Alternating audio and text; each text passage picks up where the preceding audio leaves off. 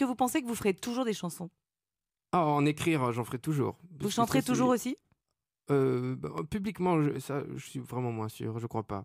Euh, mais euh, en écrire dans ma chambre, comme je l'ai toujours fait, ça, ça me quittera jamais, parce que c'est trop, c'est trop en moi, ça fait trop partie de moi. Mais après, le fait d'aller s'exposer, euh, bah, comme maintenant, c'est pas aussi naturel. Ouais. c'est- une démarche, et, et je crois que personnellement, ça, ça doit durer un temps. Mais après, je crois que aussi on réalise, il y a un moment, le sens de la vie, c'est pas de vendre des albums et de remplir des salles, quoi. Donc, euh, je crois qu'il y a un Enfin, moment. pour un je- chanteur, ça vous permet de gagner votre vie, Vianney aussi. Bon, je suis pas inquiet, je pourrais la gagner autrement, franchement. C'est vrai? Bah ouais. Euh, ouais. Je sais pas comment, mais.